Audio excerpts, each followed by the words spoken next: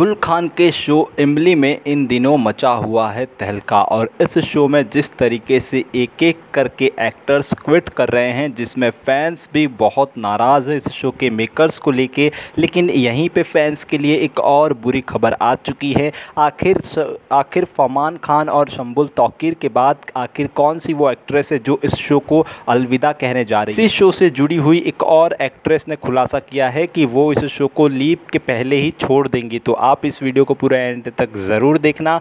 चलिए जानते आखिर वो कौन सी एक्ट्रेस है और क्या कुछ है और क्या कुछ चल रहा है कंट्रोवर्सी इंग्लिश शो से लेके।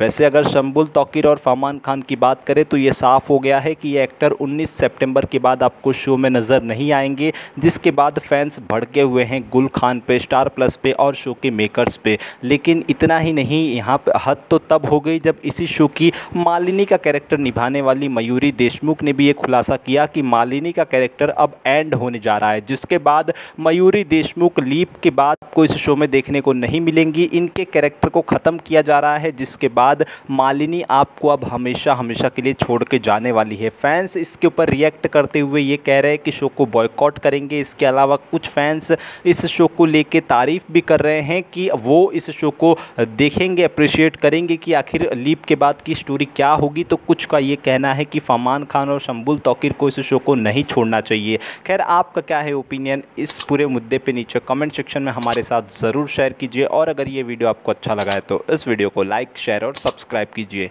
मिलते हैं नेक्स्ट वीडियो में, तब तक के लिए बाय पीस आउट